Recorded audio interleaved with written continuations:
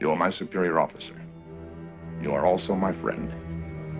I have been and always shall be yours. Space Station Regula One, this is the Starship Enterprise. Please come in.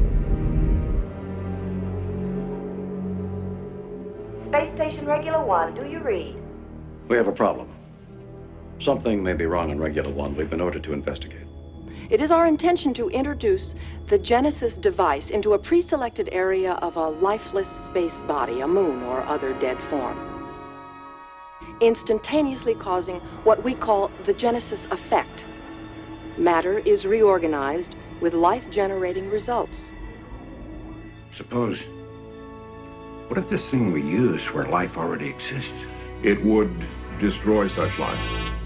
Admiral, sensors indicate a vessel in our area, closing fast. What do you make of her? It's one of ours, Admiral. It's Reliant.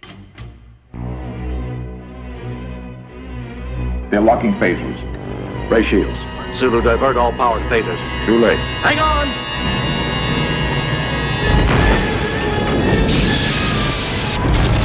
He wishes to discuss terms of our surrender.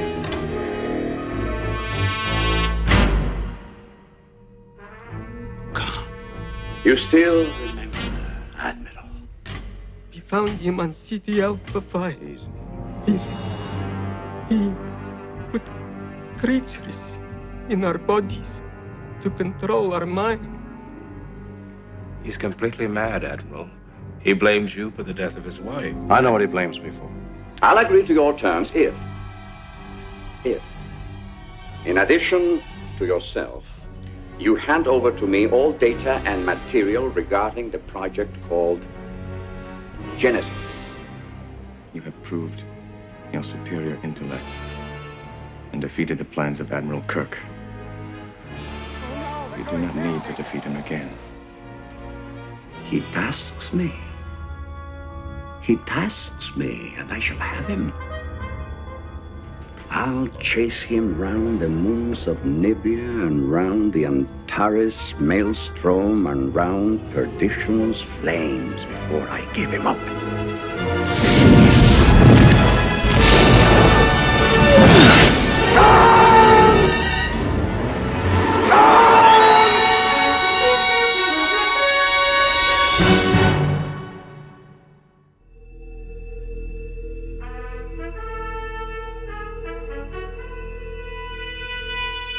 On June 4th, 1982, the crew of the Enterprise returned to the big screen in Star Trek II The Wrath of Khan.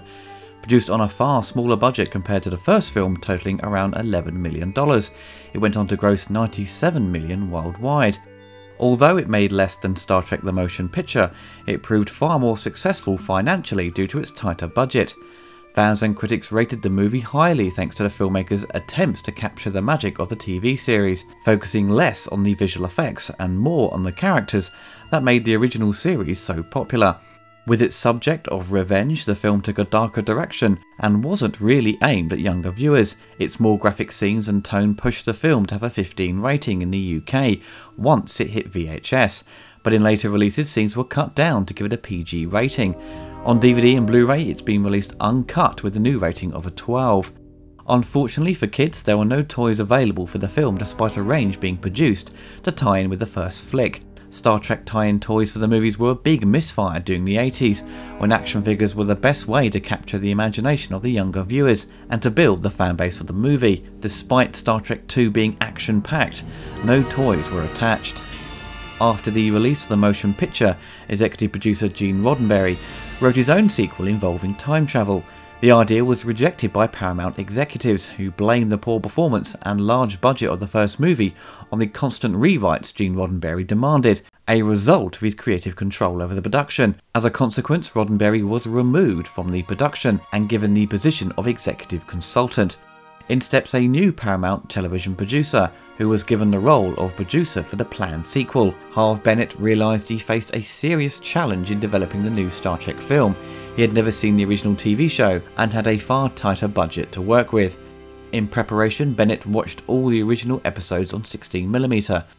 Harve Bennett felt the first movie really lacked a decent villain, and after seeing the episode Space Seed, he decided that the character of Khan would be perfect to bring back as the main antagonist for Kirk and would create a great link to the original show. With this great premise for the film, they were having problems developing the script. A Paramount executive suggested to Bennett that Nicholas Meyer, writer of The 7% Solution and director of Time After Time, could help tidy up the script and bring a fresh perspective. Nicholas had never seen an episode of Star Trek and vaguely knew of the characters.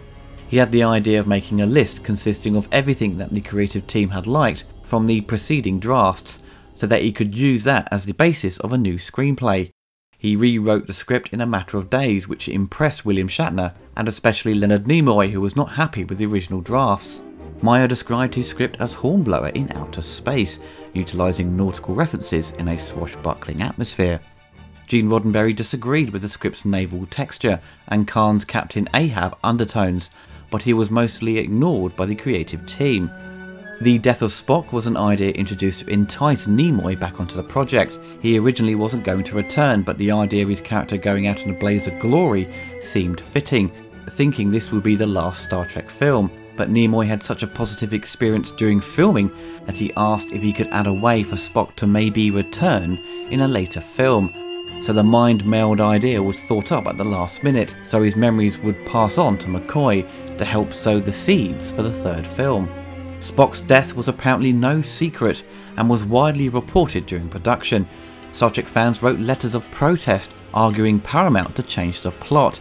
Test audiences reacted badly to Spock's death and the final scene's dark tone, so it was made more uplifting by Harve Bennett.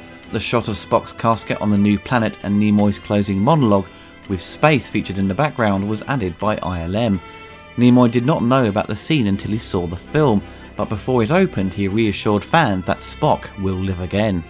Sadly, this year we lost the legendary Leonard Nimoy, who passed away at the ripe old age of 83. Beyond playing Spock, he proved to be a very credible star of theatre and talented behind the camera, directing Star Trek 3 and 4 and Three Men and a Baby. All the original cast members return, plus a new Vulcan, and new crew members for the Reliant, Kirk's old flame Carol and her son David, and of course the return of Khan. Ricardo Montalban plays Khan, a genetically enhanced superhuman from the 1990s, who used his strength and intelligence to briefly rule much of Earth. Kirk defeated him in the episode Space Seed and marooned him on Ceti Alpha 5 for attempting to steal the Enterprise. The film was close to production approval when it occurred to the producers that no one had asked Ricardo whether he was interested in appearing in the film. Ricardo was unsure whether he could plausibly play Khan again after so many years, Contrary to speculation that Montalban used a prosthetic chest, no artificial devices were added to emphasise Ricardo's muscular physique. It's all Ricardo's own body. My friend Richard refers to his muscular physique as his chest of justice. Ricardo enjoyed making the film and counted the role as a career highlight. His only complaint was that he was never face to face with Shatner for a scene.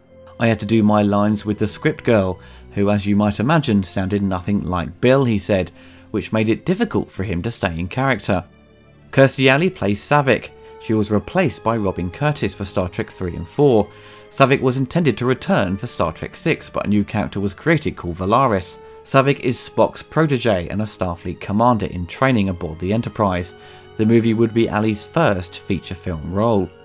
Bibi Besch plays Carol Marcus, the lead scientist working on Project Genesis, and the mother of Kirk's son, David, played by Merritt Buttrick. The director was looking for an actress who looked beautiful enough that it was plausible a womanizer such as Kirk would fall for her, yet who could also embody intelligence. Nicholas Meyer liked that Buttrick's hair was blonde like Besch's and curly like Shatner's, making him a plausible son of the two, though I don't know where he gets his height from, appearing taller than his mother and father.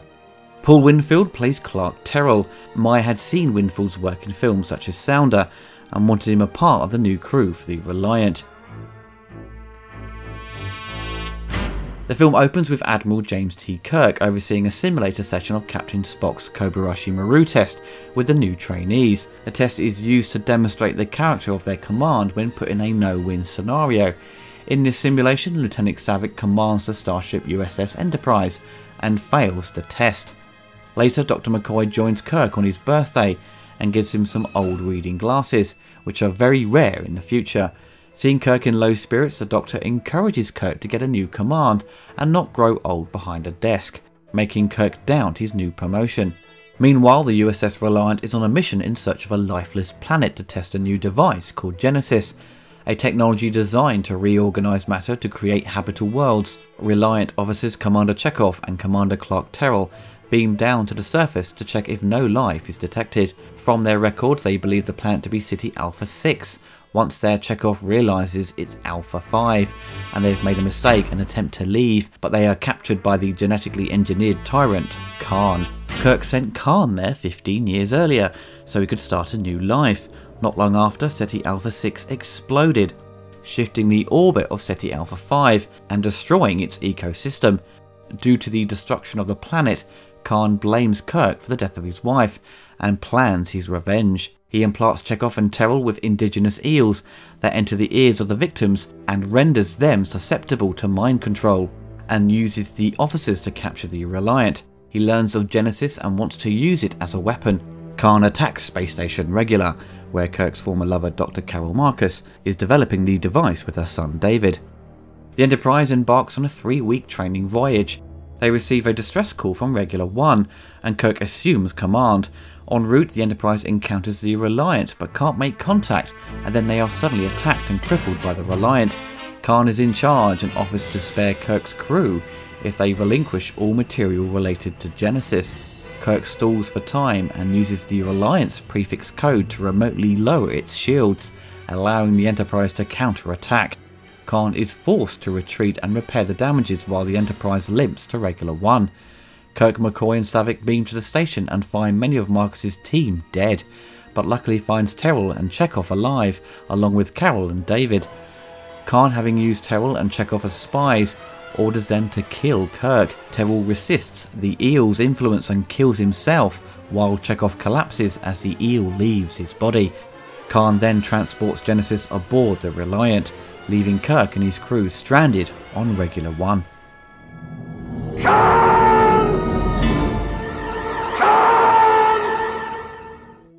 In 2002, a director's cut was released. It wasn't extended heavily, only featuring a handful of scenes that added little bits of dialogue.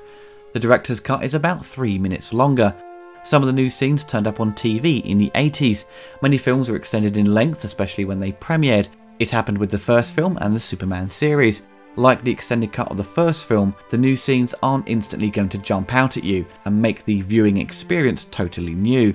This director's cut wasn't made available on Blu ray, but I'm sure you can hunt it down on DVD for a cheap price. With a small budget and less time, the effects team at ILM had to be conservative with their shots, but also maintain the high quality people expect from them and to at least attempt to match the first film. It's loaded with pyrotechnics, models, motion control, matte paintings, all shot on large VistaVision film stock to keep the resolution high when all the elements are combined optically. They didn't have the time to do the elaborate lighting effects that were used in the first film, but instead tried staying faithful to the classic show and only used the effects to help tell the story and not to be an effects demo to demonstrate what they can do. The nebula footage is probably the most impressive for me, shot with moving liquid in a cloudy tank, shot at 2 frames per second, and they had to shoot several takes to get the right shots. Once things start moving in the tank, you had to be quick to get the right footage. They built large models for the close up of the pyrotechnics. Capturing explosions with miniatures is difficult once you see flames. It can give away the scale of the model, so large props have to be made. For the eel sequence, they made a large rubber ear so they could puppeteer the eel as it falls into the victim or falls out. In high definition, it does unfortunately look very fake, but it's only a minor nitpick and I applaud their efforts altogether. The Wrath of Khan was one of the first films to extensively use computer graphics. That year also saw Tron, but that was trying to replicate a video game environment, but in Star Trek they tried to create something naturalistic or photorealistic. The entertainment industry at that point was not at all interested in computer graphics, so the team really wanted to push what they could do and try and change everyone's mind on the new technology. The computer graphics company at ILM created a minute long sequence to simulate the device exploding on a barren planet and watching it form life in a matter of seconds. The sequence is still pretty impressive today, considering what they demonstrated in only a small sequence. The company would later be sold to Apple and Steve Jobs would be the biggest shareholder. Down the line, the company would be renamed to Pixar.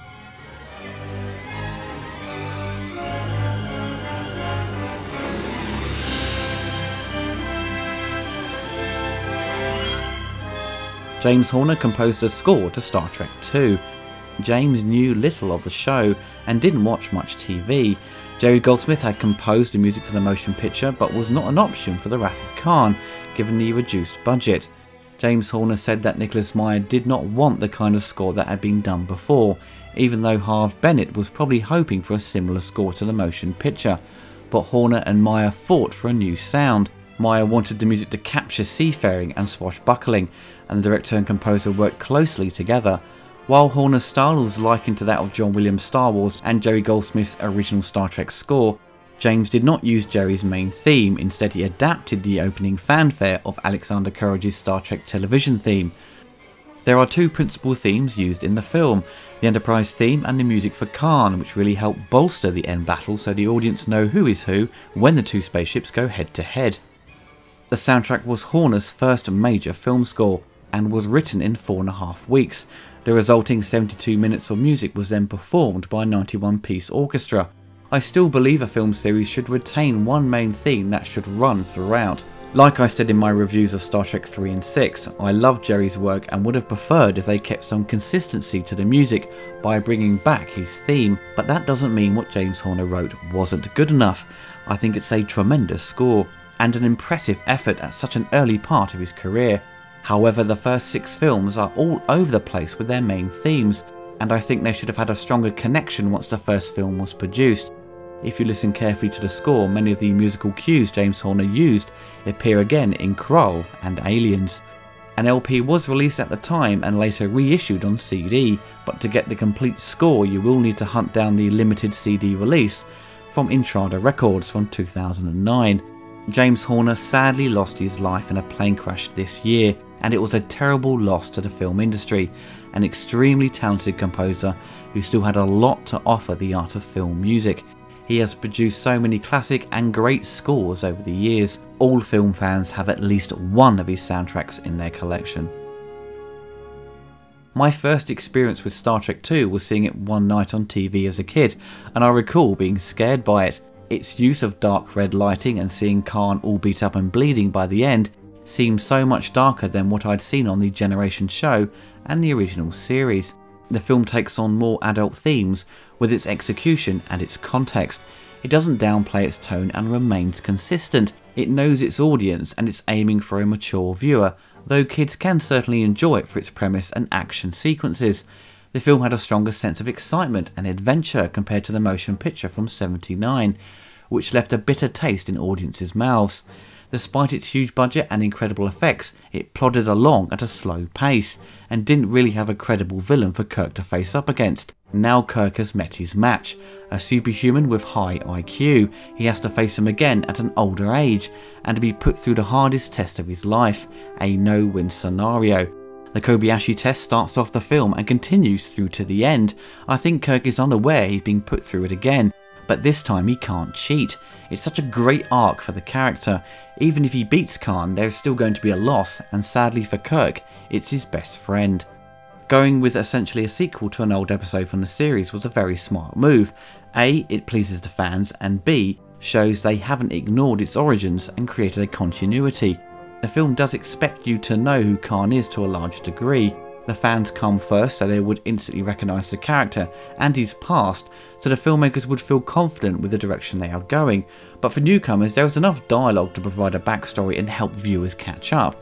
I'm glad they didn't use footage from the old series as flashbacks because the production is very different. I had no idea it was a continuation of an old episode until later on. As a kid, I watched the films when they were on TV, and some episodes of the classic show, and now and again the Next Generation series. I never owned any of the movies on VHS, so I wasn't a fan that would seek them out. I was more a Star Wars fan as a kid. I had the toys, and the films were certainly more action packed and felt more exciting to me. As a kid, you could go out and pretend to be Luke Skywalker or Han Solo, but with Star Trek, I didn't feel compelled to reenact scenes or pretend to be a 50 plus year old man. The film acknowledges their ages and doesn't pretend that they are not old. It plays it up and has fun with it sometimes, with Kirk pulling out his reading glasses in an attempt to hack the Reliant. The story realises they have moved on with their lives and shows Kirk being promoted but also having doubts about his position and finally finding out he has a son. His character has a lot to juggle throughout the movie, and William Shatner does it with little to no effort, showing that he knows the character more than anyone. The end battle between Khan and Kirk is clearly a submarine battle in space, having to play cat and mouse with each other as they make their way through the nebula without any tracking systems in place, so they are fighting blind. It's an intense scene where Kirk has to outsmart Khan. Spock says Khan thinks in two dimensions, and for Kirk to win, he must think in three dimensions. I think it's always difficult to create exciting action scenes with the Enterprise, as whenever you see them in the films, it's always moving around slowly on screen, and only picks up speed when it warps and goes into light speed. So having this submarine inspired sequence seem fitting to play at the finale, and to have a plausible reason for them to hunt each other down at a slower pace. The death of Spock is certainly handled well, and brings out all the emotions needed to see Kirk at his lowest, losing his best friend, and for the audience to get behind him and feel the same loss but it's difficult to know how many people actually knew he would return at the time. With the news in the press and Nimoy publicly saying he would return to calm the fans down, it essentially deflates the emotions of that scene if you know he's not actually going to die. And with Star Trek 3, it clearly indicates from the title he is back, giving you no surprises. The production design still retains that 70s look the first film had, and feels a little like Logan's Run, especially when you see Carol and David, their costumes and the sets take on that very beige look, and it certainly dates the movie, but then there are moments when the set pieces feel like something out of Alien. Ceti Alpha 5 and Khan's home look more in line with contemporary science fiction, but the Enterprise retains that slick, streamlined look that had already been established in that universe. The whole film seems far more fresh and appealing to look at, with the subtle changes. The changes made by the director Meyer to push the Navy like aspect of the film with the use of dialogue and costumes seemed the right way to go. Replacing the pyjamas or onesie like outfits seemed to make sense, and that design stayed with the series. A lick of paint can always make a big difference. Wrath of Khan is probably the best out of all the feature films. Any list you encounter online, 9 times out of 10 it's at the top, because the movie ticks all the right boxes to make the perfect Star Trek film. Is it my personal favourite? It's hard to say. It probably is. I really enjoyed number 3 and number 6 though, despite many people saying all the odd number films are crap, i.e. 1, 3 and 5. I still get a lot of fun out of the search for Spock, but I think what makes the Wrath Khan tip over the edge to be the best is the villain. It's not a Klingon or an advanced AI, it's a human being, a genetically modified one but still a human being. So there you have the great opportunity to create a sense of drama and tension making the conflict seem far more believable. The plot of Wrath Khan was remade in Star Trek Nemesis, with Picard pitted against a clone of himself, having similar battle sequences, and seeing Data lose his life in a similar scenario to Spock. Then we have the recent Star Trek Into Darkness, which sees the return of Khan played by Benedict Cumberbatch. They tried to hide the fact that it was Khan in the advertising, but it was clearly obvious that it was him, Kirk loses his life at the end instead of Spock, but they do try to change things around so it wasn't a blatant carbon copy. Fans were annoyed at the writer's attempts to shoehorn Khan so early into the new series, and it seemed like a lazy way to bait the fans. I think in the long run it seemed to have backfired. To me, Khan appears to be Kirk's most popular adversary, so it's like Superman versus Zod. Khan was probably going to return to the franchise in some form or another, but so soon into the rebooted franchise, I think it was too early but its criticisms weren't just because of Khan, it had a messy script overall. I enjoyed it when I first saw it, but never really felt compelled to watch it again. I really enjoyed the first flick by J.J. Abrams, and was a bit disappointed that Into Darkness didn't really live up to that quality. It's been over 30 years and Wrath of Khan still retains its popularity. What makes the movie so appealing and entertaining is that it encapsulates everything that made the TV show work, but now it's all on a bigger scale. Having a director who wasn't a fan of the show and the franchise take the reins might seem to have a negative impact to the film, but it paid off. He focused on telling a good story and bringing out the best in the actors to give all the dramatic and emotional scenes weight to their delivery. Ricardo did a fantastic job with his character and the delivery of his lines. All of his scenes carry so much emotion and hate towards Kirk, making him an iconic villain. William Shatner himself pulls off one of the best performances from the long running series. He has to handle a lot of emotions and is totally convincing with his reliable portrayal.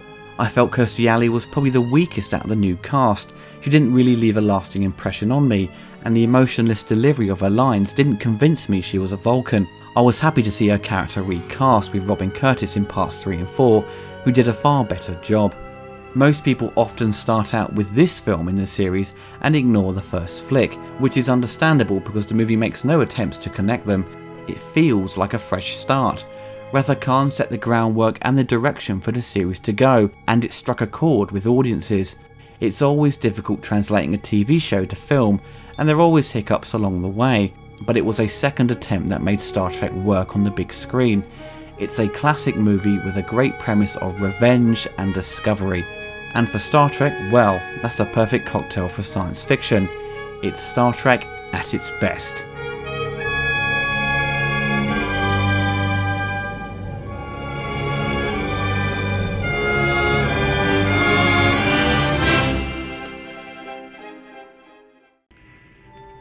If I may be so bold, it was a mistake for you to accept promotion. Commanding a starship is your first best destiny. Anything else is a waste of material. I would not presume to debate you. That is wise. In any case, were I to invoke logic, logic clearly dictates that the needs of the many outweigh the needs of the few. I did what you wanted. I stayed away. Why didn't you tell me? How can you ask me that? Were we together? Were we going to be? You had your world, and I had mine. And I wanted him in mine. I've done far worse than kill you.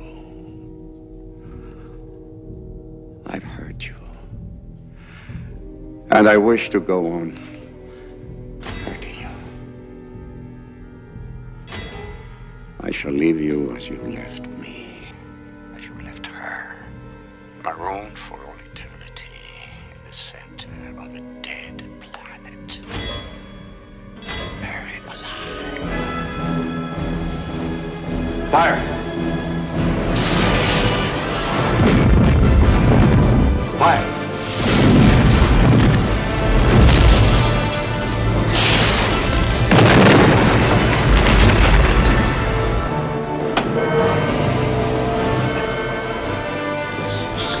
Go through!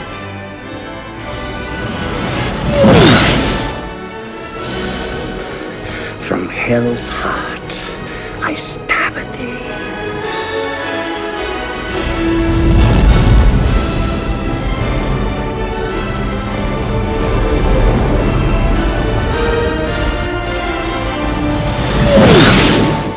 Of all the souls I have encountered in my travels, his was the most human. There are always possibilities, Spock said.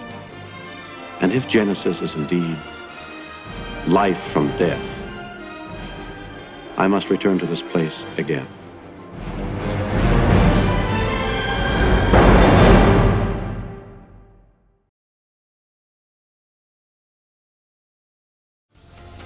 If you enjoyed the video, you can find more on my YouTube channel, and also you can follow me on Twitter. If you want to help support the channel, you can donate through Patreon and receive monthly perks such as updates on the latest news on my channel, early access to reviews and commentaries before they go live on YouTube. Even the smallest donation can help keep this channel going. Thank you.